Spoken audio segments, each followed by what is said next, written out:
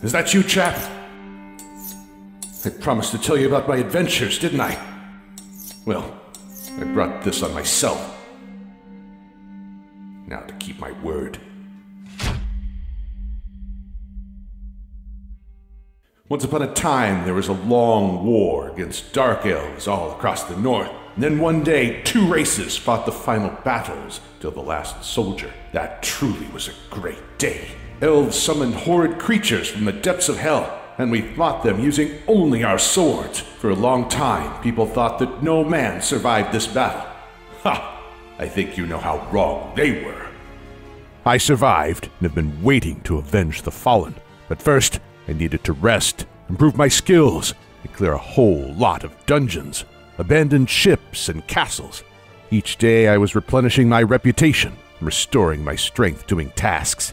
I was becoming stronger in things I was doing. Many months passed until I was able to avenge them, but I've seen dragons, trolls, and even dinosaurs.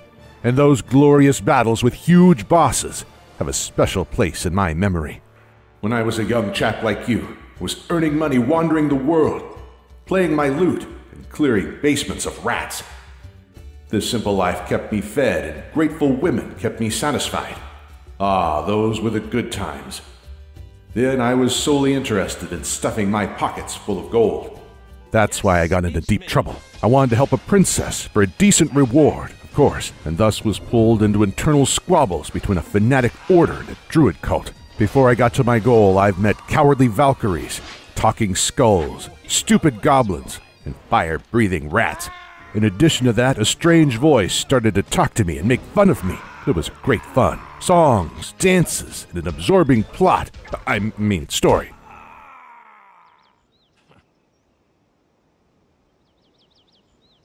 Hmm.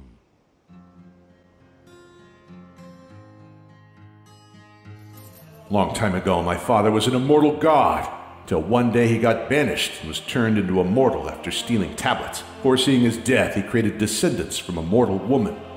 That's how I was born, half god, half human. But apart from me, there were several other descendants, and one of them wanted to kill all the other ones to remain the only one and become a god. I'm not that easy to get rid of.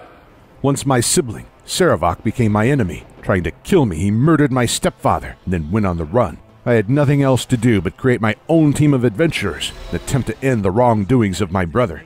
The most difficult in that adventure was making the right choices, because my vision and nature fully determined the adventurers I could take with me. There were real time controls with a tactical pause. Um, I mean, we sometimes took breaks.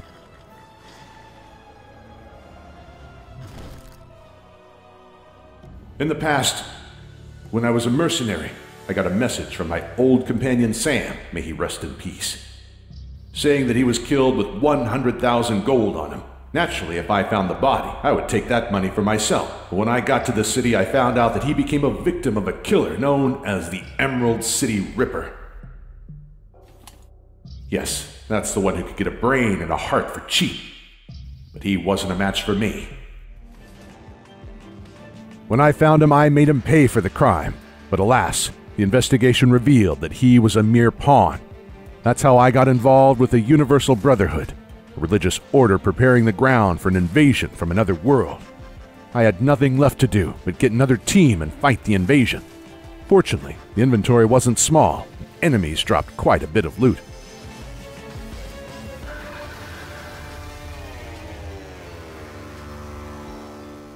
A long time ago, there was a war between the Empire and Jedi Knights.